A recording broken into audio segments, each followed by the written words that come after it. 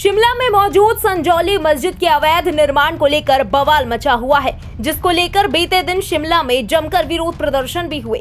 इसके बाद अब हिंदू महासभा के अध्यक्ष स्वामी चक्रपाणी महाराज ने प्रतिक्रिया देते हुए कहा कि आज ये लोग अवैध मस्जिद को संरक्षण दे रहे हैं। कल अवैध लोगों का संरक्षण करेंगे।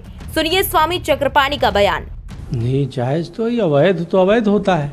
अवैध चाहे जब मंदिर अगर भी होता है तो अवैध तो मंदिरों को तुरंत तोड़ देती है सरकारें।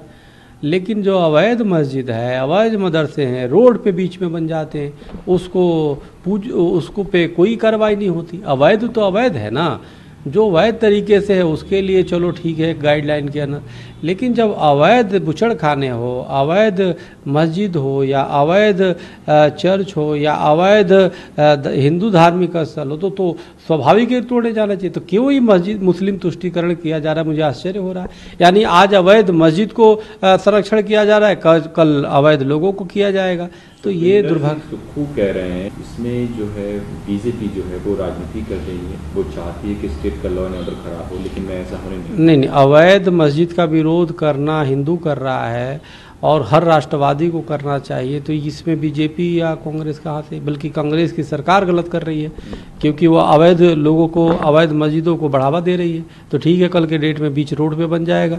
लेकिन कांग्रेस ये कह रही है कि ये जो मस्जिद जो बना है उस समय शासनकाल में बीजेपी के लोग थे। हम्म।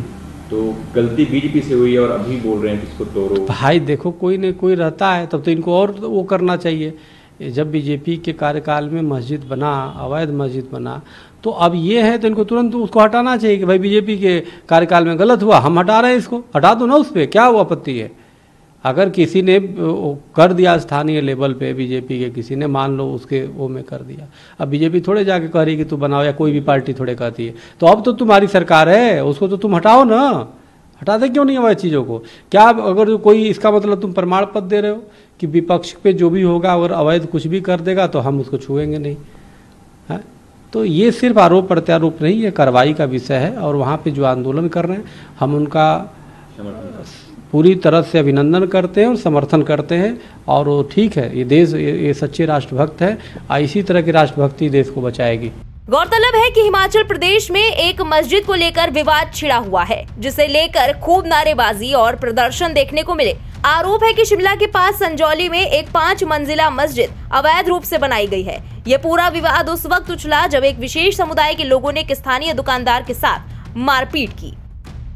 ब्यूरो रिपोर्ट, इंडिया पब्लिक खबर। इस खबर में अभी के लिए बस इतना ही। इस खबर से जुड़ी तमाम लेटेस्ट अपडेट्स और देश, दुनिया की बाकी खबरों के लिए बने रहें इंडिया पब्लिक खबर के साथ। हमारे यूट्यूब चैनल को सब्सक्राइब करें और बेल आइकन दबाना बिल्कुल ना भूलें।